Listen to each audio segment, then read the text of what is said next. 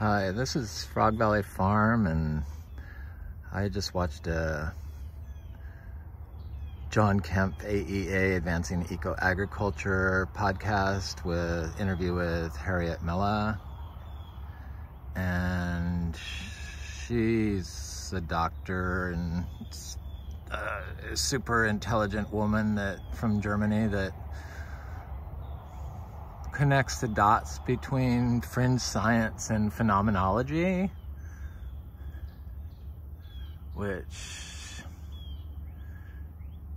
to grow plants and this is the fields that really fascinate me and I just can't seem to get enough of it. But one of the takeaways I got from that was that plants can get 80% of their nutrition from the air. And that foliar feeding is a really good way to do that. Of course, using chemicals, chemical fertilizers, even just a little bit, spraying with glyphosate, you know, those all uh, disrupt the forces of nature that create the environment in the plant sociobiome that enables the plant to uptake the maximum amount of nutrients possible through the air. Spraying copper on the leaves, mm -hmm, not a good idea. Uh, so I did a lot of foliar spraying. That's I I got into biodynamics and within two weeks after doing uh, BD 500, I noticed that uh, we had aggregation going on in our taller grass. This is on an unmowed grass system, right when I stopped cutting the lawn. And the it just amazed me. So it sent me on this spiral of I don't know if it was insanity, but probably close of foliar spraying every day, five days a week of different things, concoctions I made, um, uh, like lab, like the, uh, you know, the milk whey and a little bit of molasses put in there and spraying that on the everything till I figured out what died from it and what didn't and realized that um, unless the plant's really diseased, just spraying it on the orchard floor was the best thing to do. And then I did this for a long time and I alternated between doing that and doing uh, compost tea and uh, uh, uh black soldier fly leachate, uh, bokashi leachate. And um, I found that the most uh, active one that got the most incredible results that I could see was the uh, Bokashi uh, leachate uh, with black soldier flies.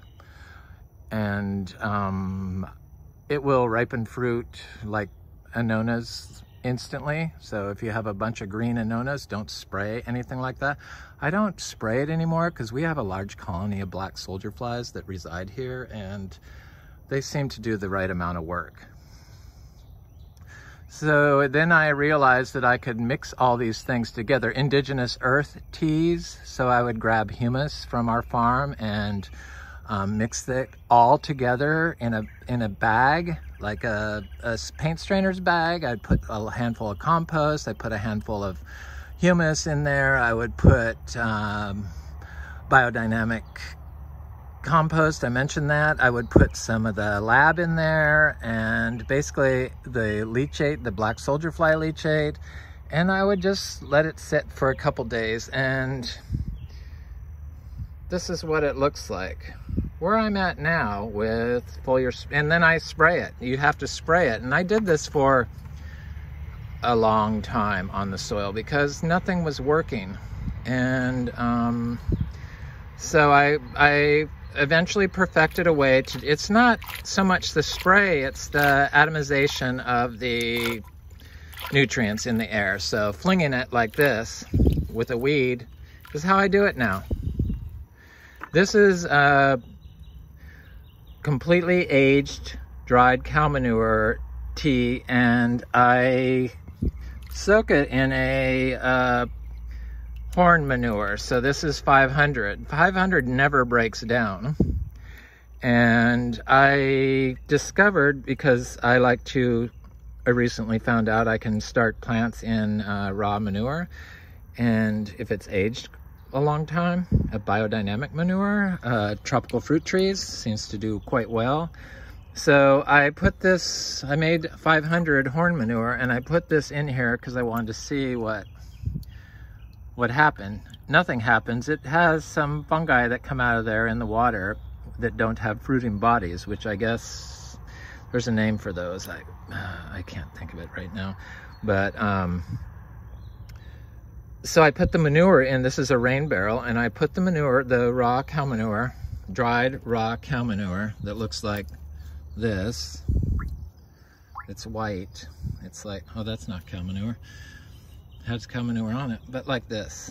This is cow manure.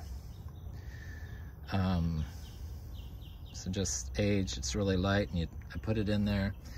And when it's in there with the horn, the horn is in there, it changes something like uh, the energy the electromagnetism, I imagine. And um, so the, the, the cow manure disintegrates, which it never did before. So this is what it turns into. Oh, it's, you don't have to break it down. So anyway, so this is was a video on foliar sprays and the importance of them and I just took it for granted. Another foliar spray that worked very well for me was organic yeast. Start some organic yeast and mix it all in with the with the teas, the other teas.